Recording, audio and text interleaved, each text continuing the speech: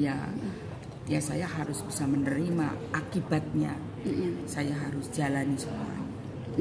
Mas Juli gimana? Mas Juli juga seperti aman? Oh, tetap jarang ketemu. jarang ketemu.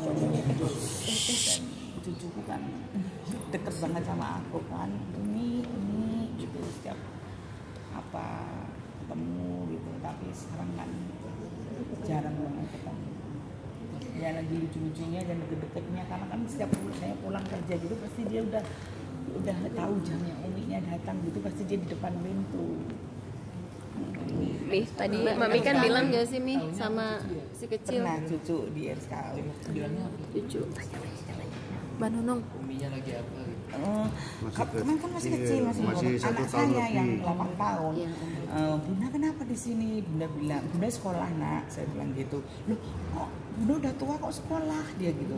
Iya bunda biar pinter lagi. Ini bunda sekolah. Bunda karena mau main film.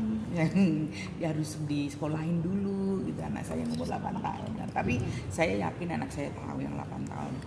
Bunda tidak bohong kan? Dia bilang gitu saya nangis. Saya saya yakin anak saya tahu yang 8 tahun. Saya bohongin dia tahu. Cuman ya sebagaimana mungkin saya bisa meng, apa ya ngejemim dia gitu loh. Bikin dia ayem gitu.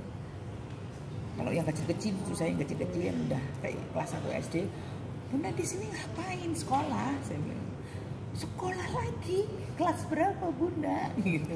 Paling cuma gitu cucu-cucu yang sudah udah kelas 1 SD anak saya yang kelas kelas 4 kalau yang kelas 4 saya tahu pasti dia tahu sudah tahu bundanya lagi ada masalah dia tahu. Terima kasih sudah menonton video ini. Jangan lupa subscribe dan aktifkan lonceng notifikasi supaya kamu nggak ketinggalan video terbaru dari Grid.